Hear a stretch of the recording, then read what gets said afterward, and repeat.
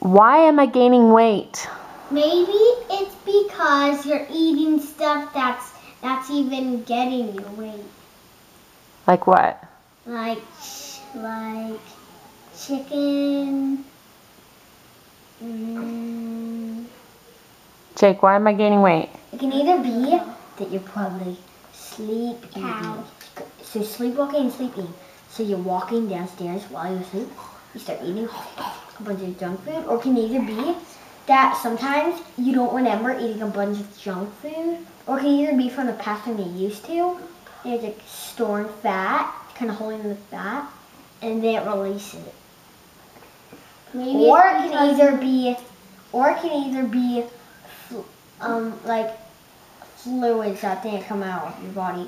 So you're retaining water. Yeah. maybe it's because you never want to go to the bathroom. And just backed up. Yeah, like maybe it's because you never want to go to the bathroom, so you always just get full and you're like, I'm too full, I'm gonna explode. Uh. Samantha, why am I gaining weight? Um, I think maybe because you might be eating a lot without even realizing it, so you're just like, oh, And then, oh, oh. and then later you're like, whoa, how did I gain weight? I didn't really eat anything. I only ate breakfast, lunch, and dinner. What's going on? I had six dinners and 70 breakfasts.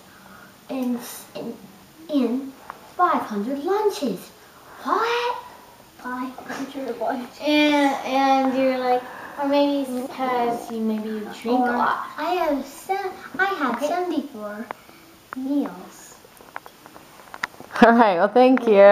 Bye. Bye.